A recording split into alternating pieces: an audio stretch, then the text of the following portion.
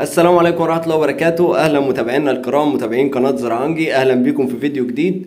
هنشوف وهنتكلم في الفيديو ده عن زراعة اللب السوبر أو اللب الكاوتش أو البطيخ الكاوتش أو اللب الجرمة زي ما بيتسمى في بعض الأماكن.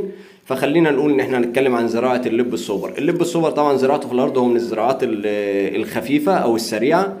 موسم قصير جدا بيتراوح من 90 يوم ل 100 يوم على أقصى تقدير. ما بياخدش مجهود كتير أو ما فيهوش تكلفة عالية جدا. يعني هو كل كل الشغل بتاعه أغلب الشغل بتاعه بيتم بيكون عن الرش بس إن هو بيحتاج رش زيادة شوية بيكون أغلب شغله في عملية الرش رش الورقي سواء حشري فطري مغذي رش ورقي عموما. والشغل بتاعه ال- الأكتر أو الأتقل بيكون آه، في الحصاد وتقصير ال- البطيخ وجمع اللب منه. هنا اللب اللي شايفينه معانا في الفيديو ده عمر عمر 48 يوم. عمر 48 يوم بقى بالوضع ده طبعا إحنا شايفين دلوقتي معانا حشرة آه، ابو العيد سبع نقط. آه، دي من الحشرات الممتازة والمفيدة جدا. حشرة ممتازة وجودها في في الغيط أو في الأرض دي حاجة صحية وحاجة ممتازة جدا. اللب ده عمر 48 يوم. بداية متابعتنا للغيط ده كان عمر 42 يوم. أول 40 يوم من عمر النبات أو لحد 42 يوم اللي هي أول زيارة لنا لل- للغيط ده. كان اللب مهمل جدا في البداية وكان وضعه سيء جدا. كان حجم النمو بتاعه زي ما إحنا شايفين كده. أو ده اللي شايفينه ده عمر 48 يوم. اللي كان 42 يوم الظروف ما سمحتش وما عرفتش أصوره كان أقل من كده بكتير. حجم النمو بتاعه في عمر 42 يوم كان بالنسبة لمثيله في الوضع الطبيعي واللي واخد رعاية بشكل كويس. كان تقريبا تديله عمر من 25 ل 30 يوم على أقصى تقدير. يعني وهو كان عمره الحقيقي أو عمره الفعلي كان 42 يوم. آه، تمت الزيارة بالفعل وتم التوصية ب- برش آه، مركب أجروستون اللي هو المركب بتاعنا إحنا. آه، تم رش مركب أجروستون مع قطرات بوتاسيوم.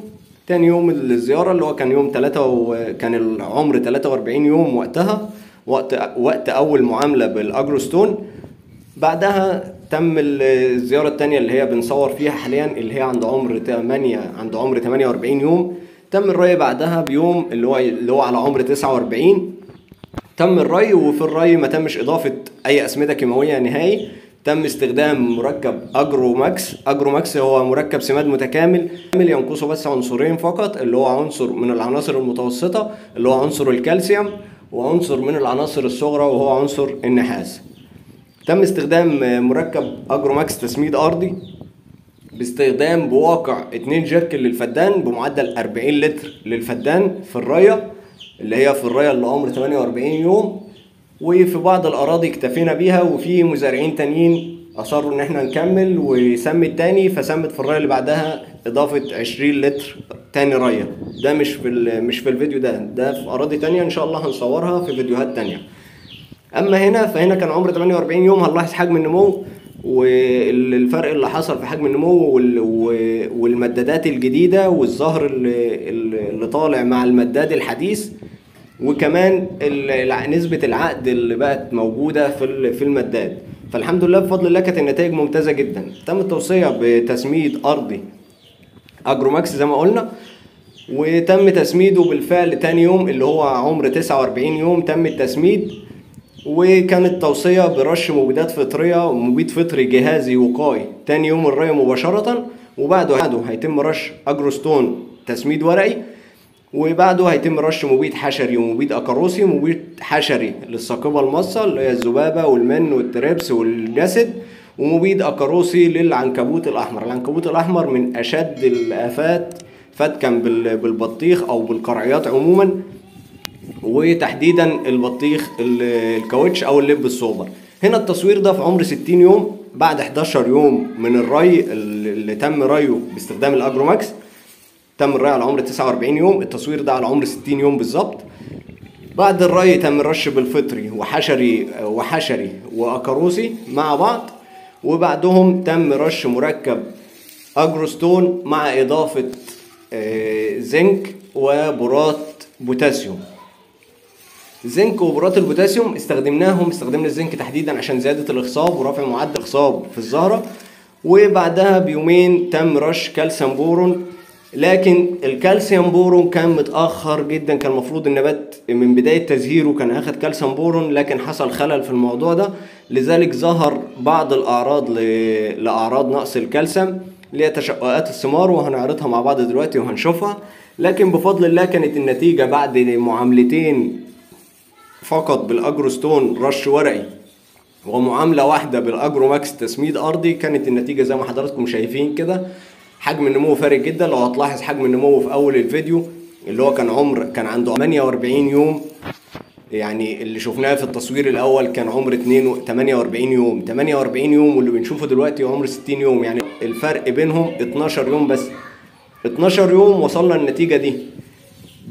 بس باستخدام رشتين أو معاملتين اتنين بمركب اجروستون تسميد ورقي ومعاملة واحدة بمركب اجرو ماكس تسميد أرضي. هنا زي ما إحنا شايفين ده أعراض نقص الكالسيوم أو الخلل اللي حصل بسبب نقص عنصر الكالسيوم اللي هو تشققات الثمار اللي مو... اللي شايفينها دلوقتي أو اللي موجودة في على الفيديو. في نقطة مهمة كمان في استخدام المبيدات أو الرش الورقي بصفة عامة.